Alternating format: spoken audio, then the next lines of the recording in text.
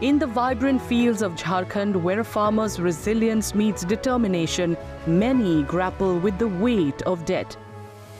To support these farmers, Hemant Soren led Jharkhand government introduced the Jharkhand Krishi Rin Maafi Yojana. This scheme aims to relieve farmers from the financial pressures of loans, providing them with a fresh start and a chance to rebuild their livelihoods. कार्यक्रम में किसानों का ऋण माफ़ी करने का काम करना शुरू कर रहे हैं।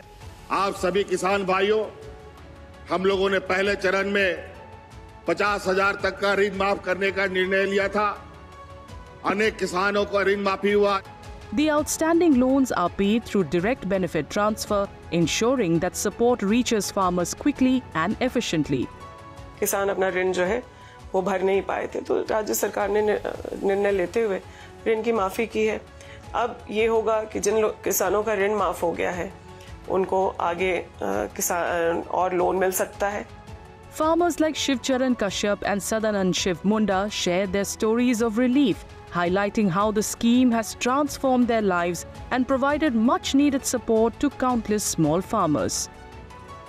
KCC loan लिया था खेती के लिए और बीच में कोरोना काल और खेती में नुकसान होने के कारण जो के था उसको भर नहीं पाया और तभी जो सरकार के द्वारा के सी लोन माफ़ी योजना जो निकाले हैं उसके तहत मुझे भी लाभ मिला। मेरा तबीयत खराब हो गया दो तीन साल। हेमंत सरकार ने लोन माफ़ी किया है कृषि लोन इससे खुश है। अगर लोन माफ़ छोटा अमाउंट भी करे तो छोटा छोटा किसान एक आगे अब उन्नति करने की तहसील रखेंगे। Under the Jharkhand Krishi Rin Maafi Yojana, debt payments of 400.66 crore rupees have been disbursed to over 1,76,977 beneficiaries.